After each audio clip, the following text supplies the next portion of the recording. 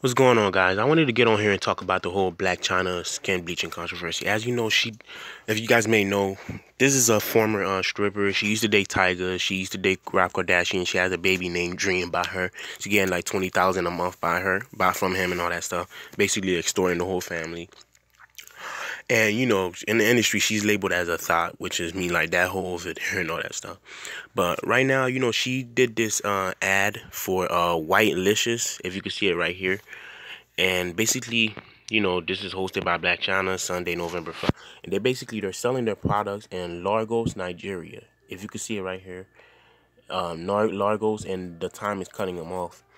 Uh, and you know, basically, you know, I wanted to get on and talk about this because you know what's funny is they being they're not selling this in the United States, they're selling this in Africa and all that stuff. And you know, a lot of black women around the world have insecurities about their skin tone, which I don't mind at all. I'll, I'll eh, well, regardless if of a dark black woman, if I have a thing with her we we care for each other, I'll date her and all that stuff.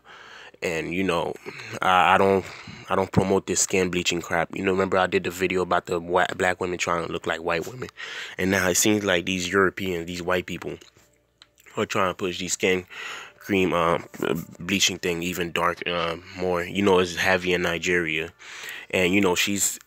You know, she basically came out and said she don't care like what people have to say. She still stand by her ad and all that stuff. Like she really don't care. She don't have any shame and all that stuff.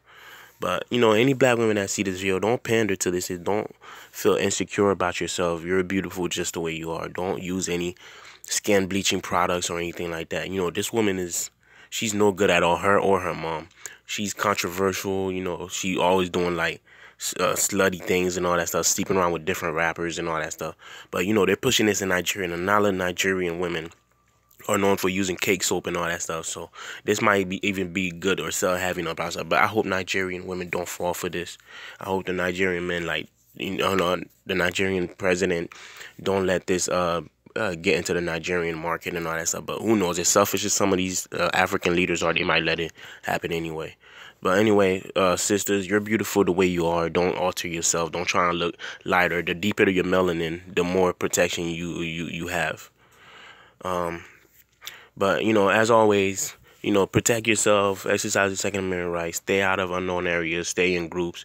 You guys let me know what you think in the comments, subscribe, share the video. Again, sisters, you're beautiful the way you are. Do not alter your skin tone, your pigment, or nothing like that. Or any surgery for that matter, too. You guys let me know what you think in the comments, subscribe, share the video, and I'll talk to you next one.